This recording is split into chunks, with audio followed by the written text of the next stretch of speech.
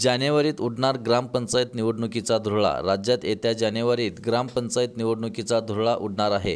कारण राज्यातील चौदा हजार दोनशे चौतीस ग्रामपंचायतीच्या निवडणुका पंधरा जानेवारीला होणार आहेत. त्याबाबत आज राज्य निवडणूक आयोगाने निवडणुकीचा कार्यक्रम जाहीर केला.